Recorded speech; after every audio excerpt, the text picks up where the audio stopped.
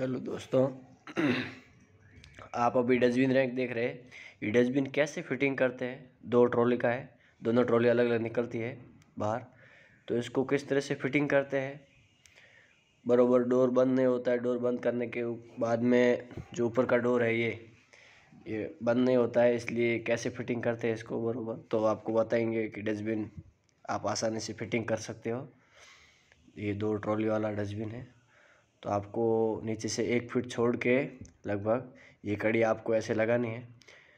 तो आगे से पिलर पट्टी के एकदम तार रेवल रेवल रखना है। दोनों स्क्रू आपको टाइट कर देने हैं।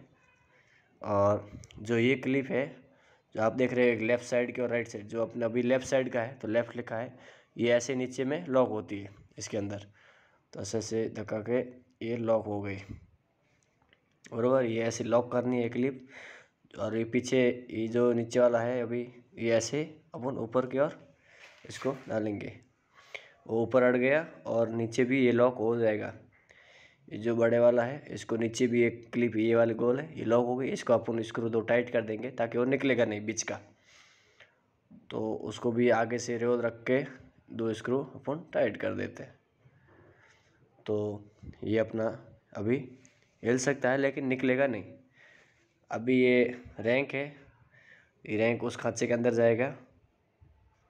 और वो बाद में ये निकालना था मैंने सॉरी पहले लगा दिया था तो इसलिए वापस खोला। जो ये है, अभी वो रैंक अंदर डालने के बाद ये नीचे से डालना है, फिर ये क्लिप लगानी है, ताकि वो भी, ऊपर वाला रैंक भी लॉक हो जाता है, फ्रेम भी। तो वापस वही हॉल में स्क्रू टाइट करेंगे। पहले माप के लिए मैंने वैसे भी किया था। तो अभी ऊपर से ऊपर वाला हॉल है, उसमें अपन क्लिप लगेगा। और ये जो धार है, उसमें ये लॉक होना चाहिए, क्लिप है। अभी आप देखें। और ये आगे की साइड में ऐसी क्लिप है, ये एकदम रेवल रहना चाहिए टेढ़ी मेढ़ी नहीं होनी चाहिए मतलब हाइट में आप टैप से देख लोगे। अभी रेवल है, यहाँ पे मार्किंग किया और स्क्रू टाइट हो गए ताकि आगे से नीचे झुके ना फ्रेम अपनी। तो अपन दोनों स्क्रू टाइट कर देते हैं। उसके बाद आपको क्या करना है?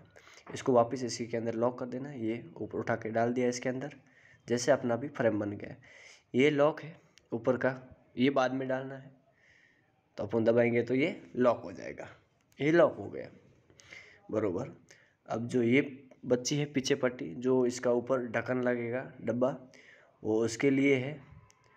तो अपन इसको एकदम इसी के हाइट के रेवल में डब्बे के फिट कर देते हैं, पीछे की साइड में। आपका पीछे पूरा पलाई रहेगा तो ऐसे पिलर पट्टी लगाने की ज़रूरत नहीं, क्योंकि वो टाइल में टाइट नहीं होता, इसलिए मैंने वो पट्टी लगाई है पीछे, ताकि स्क्रू बराबर टाइट हो सके। अभी उसको टच करके फ्रेम को देख सकते हो आप, बराबर आपको समझ में आ ही रहा है। क्लिप टच करके दोनों स्क्रू टाइट कर देने हैं, जैसे ये टाइट हो गए। क्लिप लगी, अभी उसको, ये डोर है ऊपर का इसका डस्टबिन का ढक्कन है, इसको उसके अंदर लॉक हो जाते हैं, आसानी से दबाएँगे तो लॉक हो जाता है। ठीक है? अभी अपन एक बार देख लेते हैं कि भाई कैसा बरोबर लॉक हो रहा है कि नहीं। लॉक नहीं हुआ इसलिए अपन वापस अभी ये डब्बा है, इसके अंदर रख देते हैं। और बरोबर बैठ के अभी ट्राई करते हैं कि कैसा बरोबर अपना ढक्कन लॉक हो रहा है कि बंद होता है, नहीं होता है।